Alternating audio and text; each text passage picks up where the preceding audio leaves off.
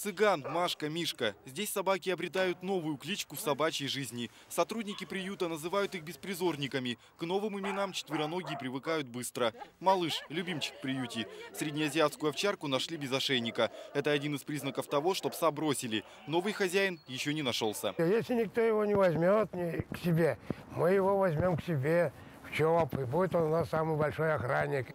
Они родные братья и сестры. Мать щенков их бросила. Дворняжки замерзали. Спасла медсестра детского сада и принесла сюда. Теперь у щенков новая мама, Ольга Исакова.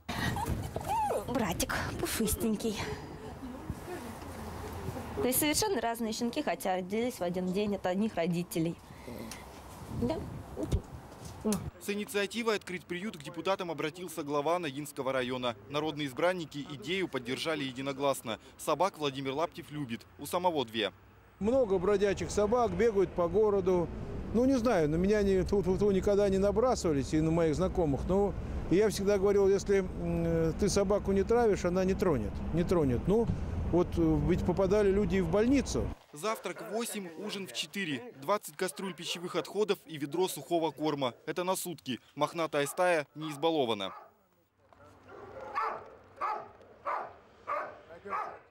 В приюте работают кинологи трех мастей. Дневные, дежурные и специальные по отлову. Еще в штате ветврач. Скоро появится бухгалтер. 50 вольеров. Сейчас здесь 15 взрослых собак и 35 щенков.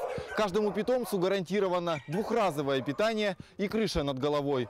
Псов, бывших беспризорников, сотрудники приюта отдают, но только в добрые руки.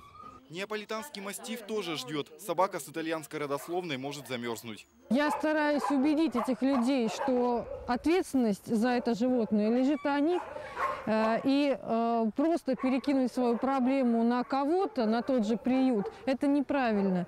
Если мы начнем брать всех животных, которые просто надоели людям, надоели хозяевам, у нас просто не останется места для тех, у которых нет дома, у которых нет хозяина. Этот приют обходится районной казне в 120 тысяч рублей ежемесячно. Столько нужно на зарплату сотрудникам. На корм и прочие расходы помогают неравнодушные к собакам люди. Константин Жирнов, Сергей Фомин, Ногинск, Новости Подмосковья.